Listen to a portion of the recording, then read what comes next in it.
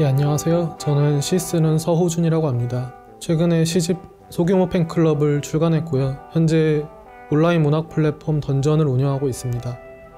예, 안녕하세요. 진부채빵 매니저로 있는 이설빈이라고 합니다. 어, 시를 쓰고 있고 어, 2019년에 울타리의 노래라는 시집을 발간했습니다. 네, 안녕하세요. 김민섭입니다.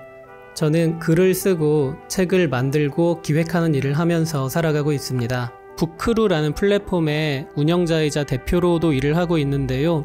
부크루는 어, 독자를 위한 작가 초청 플랫폼입니다. 네, 안녕하십니까. 저는 온라인 미디어 예술활동 지원 사업 오늘 사회를 맡게 된 김보나 작가입니다. 저는 오랫동안 문예 창작을 전공하면서 방송 작가나 에디터 활동을 해왔습니다. 그러면서 자연스럽게 돈이 되는 글쓰기는 무엇일까? 많은 사람이 볼 수 있는 글쓰기는 무엇일까 고민을 많이 해봤는데요.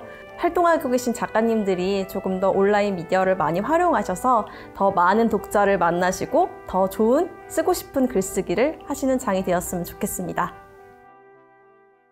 우선 뭐 여러 가지 차원이 있는데요. 첫 번째로는 제가 아까 처음에 시를 쓴다고 말씀을 드렸는데 창작자의 입장에서 가령 시의 경우에는 뭔가 그 기존에 있는 문예지에서 청탁이 오지 않으면은 시를 발표할 수 있는 기회가 없어요. 그 문예 시스템이 전부 다 청탁제로 거의 일원화되어 있기 때문에 어떤 수동적으로 좀 나한테 청탁 요기를 기다려야 되는 입장 그런 입장을 좀 투고의 형식으로 음, 작품을 발표하는 게 좀 더 작가 입장에서 좀 자기가 선택해서 할 수 있는 방법이지 않나 그렇게 생각이 들었고요.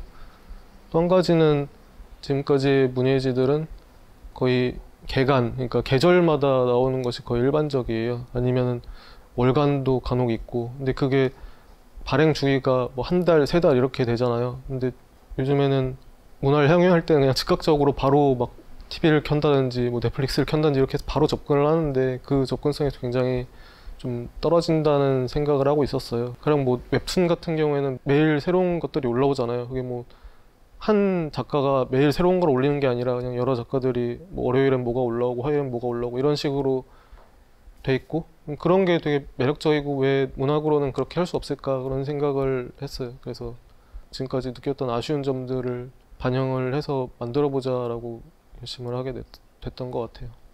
저는 그 부크루라는 플랫폼을 운영한 지 이제 1년 가까이 되어 가는데 어, 부크루는 쉽게 말씀드리면 독자와 작 가를 연결하는 플랫폼이에요. 근데 처음에는 이제 콘텐츠 연결이 아니라 사람을 연결하는 콘, 어, 플랫폼으로 시작을 하게 됐는데 몇 년 전부터 뭐 도서관이나 책방이나 뭐 학교나 기관에서 이제 초청이 종종 와요. 와서 북토크나 강연을 해달라.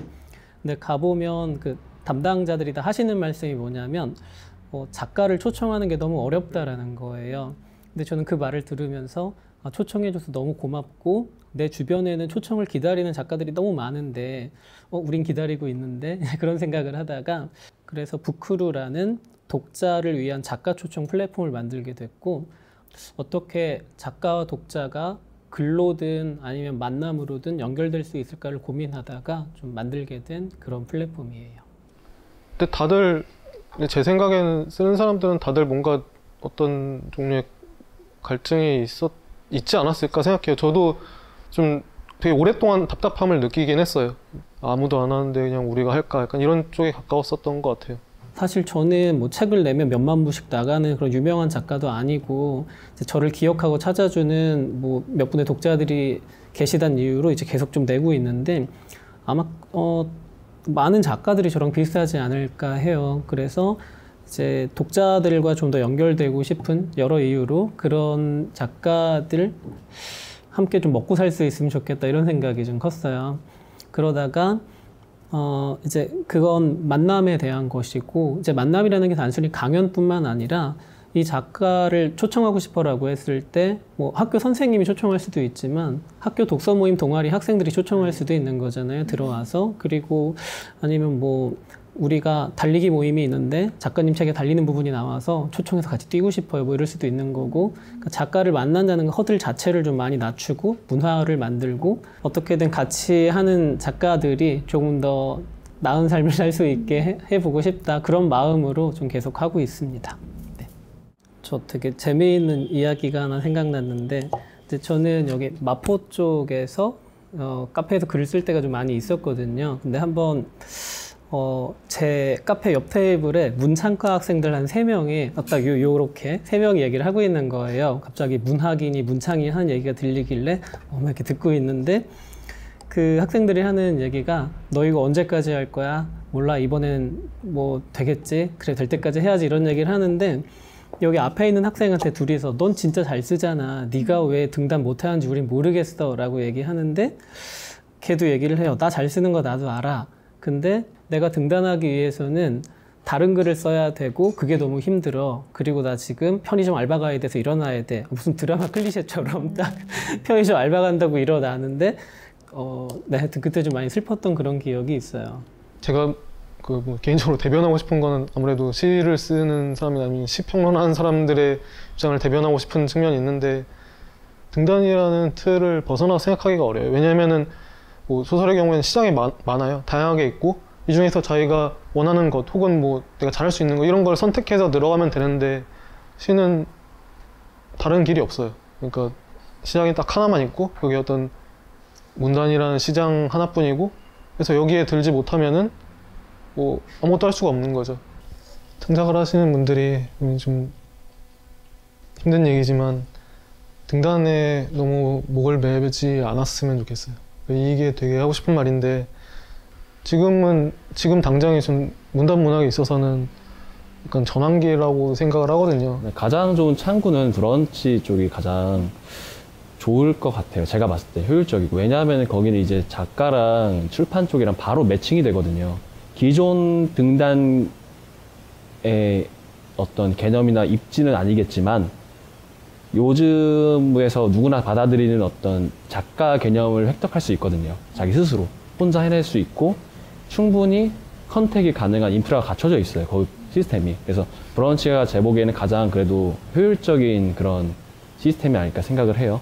웹소설, 장르소설 같은 경우에는 분명히 플랫폼들이 존재하고 잘 되고 있거든요. 가령 뭐 좀 예전부터 있었던 문피아 조아라 같은 사이트부터 뭐 최근에 브릿지라든지 카카오 페이지. 예, 카카오 페이지, 네이버 웹소설 이런 식으로 플랫폼이 굉장히 많아요. 굉장히 많다는 얘기는 수익이 난다는 얘기고 그 수익 모델이 잡혀 있다는 얘기고 경우에는 사실 플랫폼화의 시도는 되게 오래전부터 있었어요. 천리안 하이텔 이때부터 플랫폼이라고 불러야 될지 모르겠지만 그때부터 있었고 2000년대 초반에도 제가 어떤 그래서 그 시 사이트 같은 데서 되게 많이 활동을 했었거든요. 저도 2000년대 어디요? 초반에 그 사이트 이름이 예비시인이라는 사이트였어요. 오, 왜 처음 듣지? 그런 사이트들은 대체로 근데 수익 모델을 마련하기보다는 그냥 약간 자생적인 커뮤니티에 가까운 형태였고 그게 어떤 지속성이 사실 지속성이 있으려면은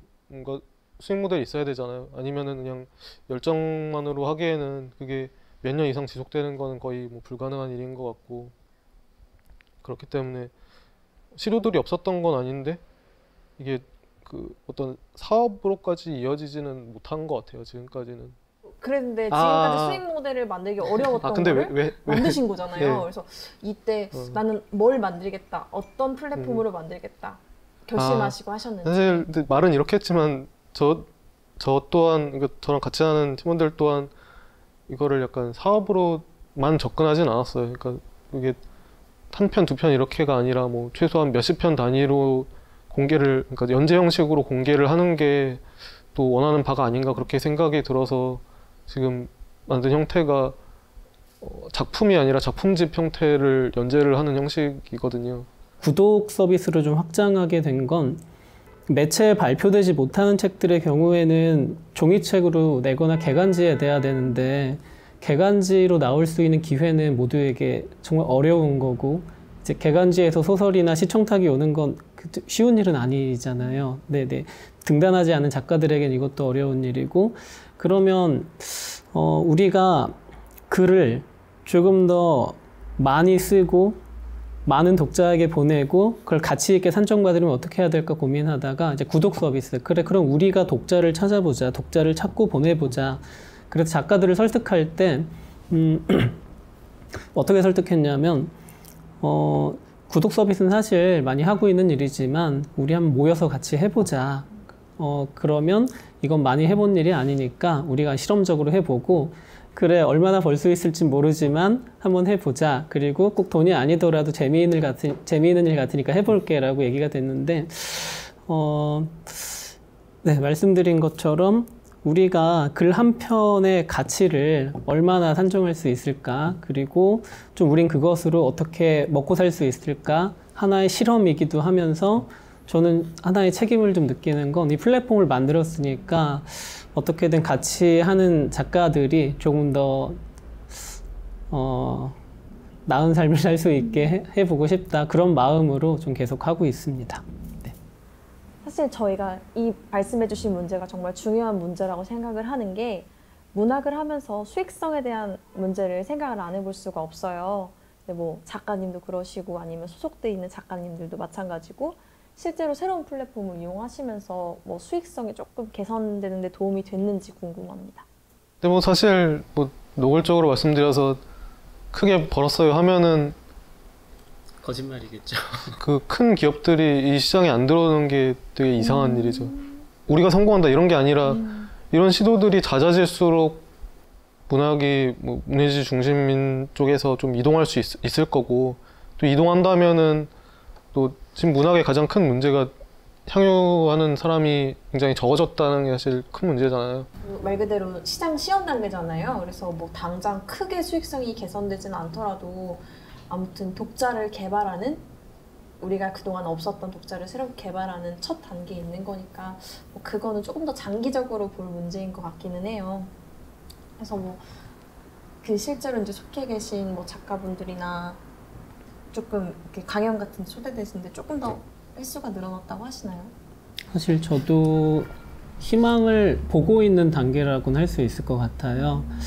어, 코로나 이후에 강연 요청이 많이 줄긴 했지만 음, 이제 원격 강연식으로 요청이 꽤 오기도 하고 근데 저희가 이제 단순히 그래 작가를 중개하고 수수료를 받자 뭐 그런 게 아니라 작가를 어떻게 조금 더 잘 소개할 수 있을 걸 고민하고 있거든요. 그래서 저희가 어, 지금 한 100여 분 정도, 100명 좀 이상의 작가들이 등록이 되어 있는데 그분들은 이제 부크루에서 특히 제가 다 책을 읽었거나 평소에 뭐 글이나 삶을 좀 존경하고 있던 분이라든지 뭐 그런 분들인데 어, 이제 등록이 될 때 저희 큐레이터가 연락드려서 인터뷰를 해요. 그 다음에 이 작가님을 만나면 뭘 얻을 수 있어요.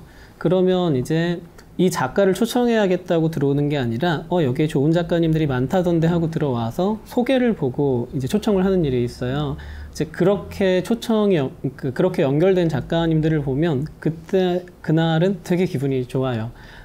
사업 모델, 뭐 돈을 번다라고 했을 때 그거보다 중요한 게 사실 문화를 만드느냐에 있다고 생각은 하거든요. 문화를 만들게 되면 기본적으로 모든 게 뒤따라오지 않을까.